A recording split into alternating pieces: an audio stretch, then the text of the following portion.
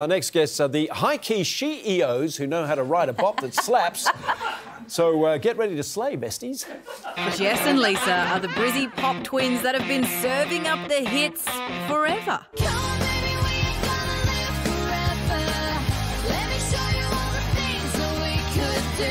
The Veronicas' perfect punky pop songs are ingrained in our culture, with this bop even dubbed the unofficial Aussie anthem. This song's called Untouched.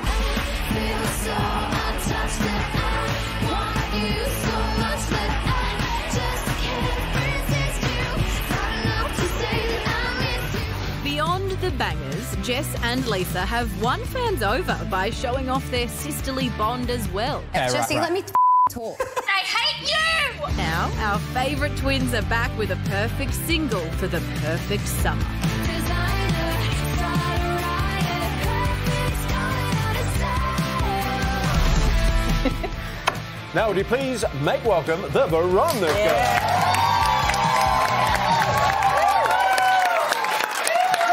Now, your new album is Gothic Summer, and we just heard your song there, Perfect. Um, now, Jess, you let a huntsman, mm. that's the scary bit of this, crawl all over your face. Now, what on earth is that about? I did, I did. I was actually arachnophobic before we shot this music video, What do and we. you mean? How could yes, you be? I well, uh, you know, the, these spiders are everywhere. Lise lives out in the jungle, and we're seeing them all the time, and I'm not into it. But then for the music video, we came up with this amazing idea that we should probably let a huntsman crawl Oh all over me and over my face. We love And- a punish Yeah. Veronicas.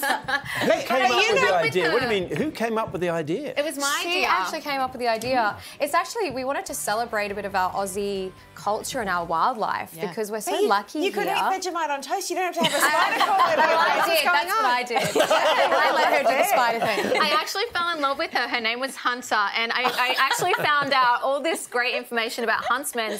They they're quite reluctant to bite. Um, humans. So That's after good. that, I was like, she can go wherever she wants. If she's not going to bite me, I'll be fine. Um, not that I recommend anyone just pick them up and put them on their face, but we don't have to kill them. That's the good news. You can just sort of usher them outside. Yeah, I get it. We are very lucky. We got to see a little snippet of Detox, which comes out next week, your new single. single. Um, it's giving early Veronica vibes. We were talking about it today. Is that a deliberate thing?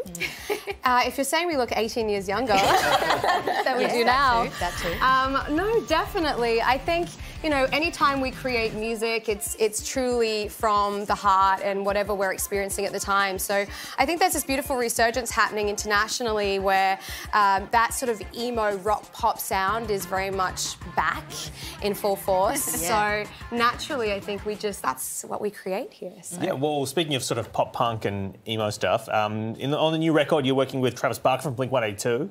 Yes, Um, yeah. we, I, I imagine you guys were fans of his before you got to work with him. What was it like to, to work with, uh, you know, Travis Barker? Yeah, we grew up on Blink 182. That's what we were listening in, you know, in high school. Um, and we were working with our producer John Feldmann, who's the singer of Goldfinger, who has produced this whole record, and he's actually really good friends with Travis. So we were writing a bunch of tracks, and he's like, "I'm going to get my friend to come in. Um, he just lives down the road to put drums down." We were like, "Okay." He didn't say who, and then next minute Travis walks in. It's like, "Hey, guys." And we're like, oh, this is your friend. Thanks for friend to preparing call us. Did, could, did, was Kourtney there as well? Because to be honest, she could be a Veronica with how she's dressing at the moment. she could be the Yeah. third Veronica. You're right. Yeah. we Yeah. should we should invite her in. Um, Yeah. She wasn't She there. might make the band more popular. I think so. You guys, it's been a massive, massive year. You were also at this incredible festival when we were young earlier on this year. On that list, Blink 182, The Offspring, huge, gigantic names, but you were one of the few, or the only all female led group within that lineup. That's becoming a bit of a hot topic at the moment. What was it like to be repping the women out there? We were repping the women. We were repping Australia. We were so proud. Um, you know, the, the energy out there and, and the scene has changed so much over the last 18 years um, that we've been doing it. And so to be up there, you know, just singing our hearts out and having fun and, and just being embraced by, you know, the huge crowds there. It's the festivals there are like 80,000, 100,000 people at your sets. And, you know, it, it, it is a testament to how the scene has embraced women now. You're seeing so much more um, rock fronted, you know, artists out there being supported by more major labels. You're seeing Olivia Rodrigo and, you know, different artists that are leading rock pop being number one artists. You weren't seeing that back necessarily, you know, in the mainstream commercial world. So it's great to see. We love it. And before we let you go, we also have to say congratulations on your uh, engagement. Yeah. exciting, very, very I've been Yeah. wanting to marry her off for a while.